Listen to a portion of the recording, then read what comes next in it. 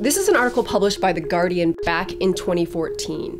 It's an obituary for Australia's Great Barrier Reef. Two years later, Outside Magazine published this. It's another obituary for the reef. And more recently, we got this news. And also this hour, the Great Barrier Reef is at a terminal stage. Have we really killed the Great Barrier Reef? The answer is no, but we sure are trying.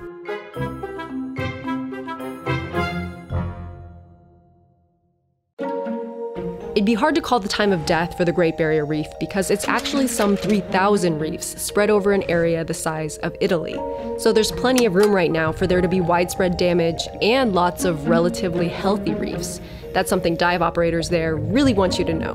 The contrasting colours down there and the water and when the light hits, the different colours just stand out and it's, yeah, it's absolutely amazing. But the world's coral reefs, including the Great Barrier Reef, have had a really hard time the past few years.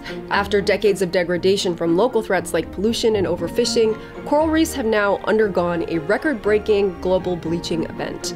That's when coral turns white, which puts them at a high risk of dying. It started in 2014 during the Northern Hemisphere summer. Abnormally warm water caused corals in Guam and the Northern Mariana Islands to start bleaching en masse.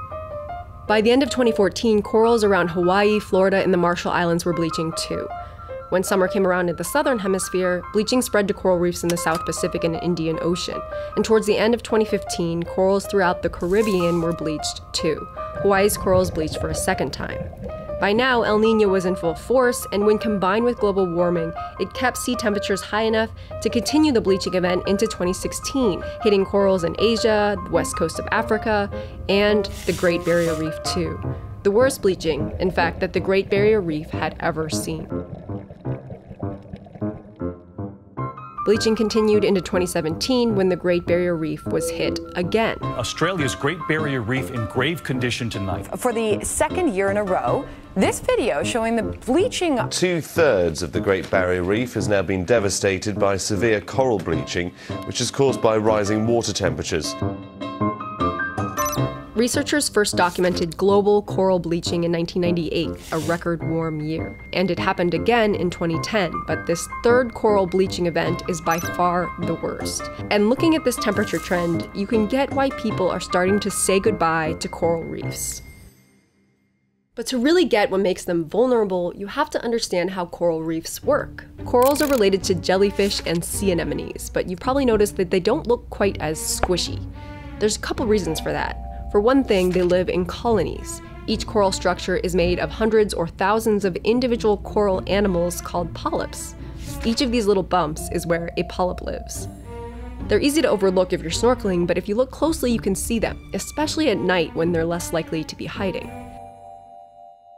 Those polyps build a skeleton together.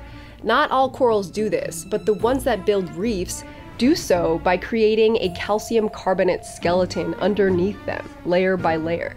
So the living polyps sit in little cups on top of an ever expanding skeleton structure, which in turn sits on top of the compacted skeletons of previous corals from thousands of years ago, otherwise known as limestone. By building these structures with all these nooks and crannies, corals provide homes for thousands of other animals and plants, an estimated 25% of all marine species, even though they take up less than 1% of the ocean floor. Those reefs provide billions of dollars worth of economic value to people every year through fisheries, tourism, and protection from storm waves. But here's the thing corals can't build reefs on their own. Coral reefs exist because of an incredible partnership between animal and plant.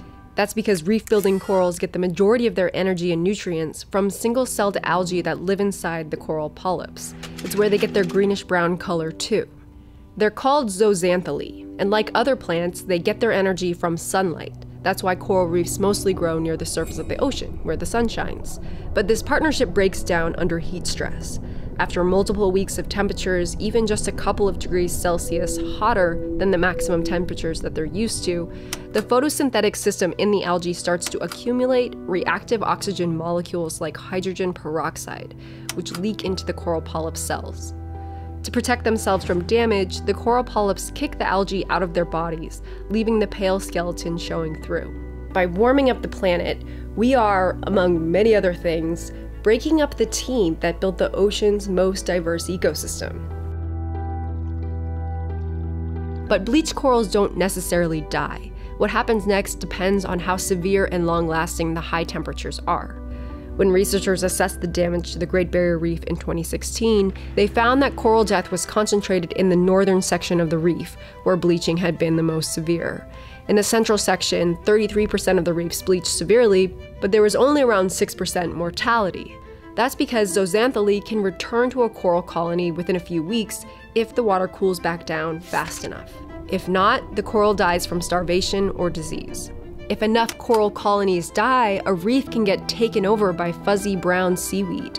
Some coral reefs have transformed into this. If there are enough fish and other grazers to eat up the seaweed, new coral larvae can settle there and the reef can start building up again. After the 1998 bleaching, the corals of the Great Barrier Reef eventually recovered. But it takes a decade or more for even the fastest growing corals to build back up. And that 10 year timeline assumes one very important condition that they don't bleach all over again, and they almost certainly will. Climate models project that in the coming decades, the conditions now causing mass bleaching will become increasingly frequent until eventually they happen every summer. How soon that happens depends a lot on whether we start cutting our greenhouse gas emissions. If we don't, annual bleaching conditions are projected for parts of the Great Barrier Reef by mid century. At that point, few coral reefs could survive. If we buy them more time by slowing down global warming, corals and their zooxanthellae may be able to acclimate or eventually evolve to tolerate warmer weather. Coral reefs would still change and probably still shrink, but we could give them a better chance. That's why it doesn't make sense to pronounce them dead. This ecosystem is dynamic. There are forces building it up that are battling the forces tearing it down, and those factors vary by species and by location. But with global warming, humans have sided against the world's coral reefs to an unprecedented degree. Some of that damage is now unavoidable. But the battle isn't over, and it's not too late for us to switch sides. If you'd like to learn more about what climate change is doing to the biodiversity of our planet, go over to audible.com/vox. Their massive collection of audiobooks includes a lot of titles about climate change, including The Sixth Extinction: An Unnatural History. This is a Pulitzer Prize-winning book by Elizabeth Kolbert, covering not just coral reefs, but animals and plants around the world that are struggling to keep up with environmental change. You can sign up for a free 30-day trial at audible.com slash vox, and if you decide not to continue on with them, you still get to keep your book. So sign up at audible.com slash Vox and start spending your commute or your cooking time or your cleaning time learning more about the role that our species is playing in the history of life on Earth.